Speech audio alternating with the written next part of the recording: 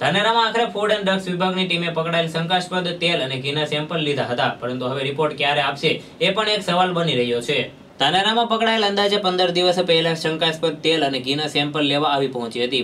And drugs વિભાગના અધિકારીઓ આજે સેમ્પલ લેવાની કામગીરી પંદર દિવસ પછી પૂર્ણ કરી છે. ધાનેરામાં ભેળસેળની પ્રમાણ પણ બહુ જોવા મળી રહ્યું છે.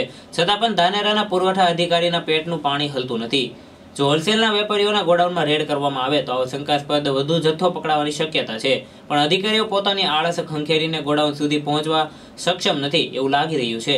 અહીંયા સવાલ એ ઊભો થઈ રહ્યો છે કે પંદર દિવસ સુધી સેમ્પલ લેવા ન આવતા અધિકારીઓ રિપોર્ટ પણ ક્યારે આપશે કે પછી વેપારીઓ જોડે સાંઠગાંઠ કરીને નોર્મલ રિપોર્ટ આપી દેશે? ધાનેરાની પુરવઠા ટીમ આવો જથ્થો પકડે છે ત્યારે આવો જથ્થો મંગાવનાર વેપારીઓ સુધી કેમ પહોંચતી નથી એ પણ શંકાની સોય ઉત્પન્ન કરે છે. હવે જોવાનું એ રહ્યું કે ધાનેરાના બાવોશ અધિકારી પ્રાંત સાહેબ ક્યારે ધાનેરાના પુરવઠા વિભાગના કાન મળીને ઓચિંતી તપાસ કરાવે એ તો આવનારો સમય જ બતાવશે. રમેશ સુથાર, આઝાદ ન્યૂઝ, ધાનેરા.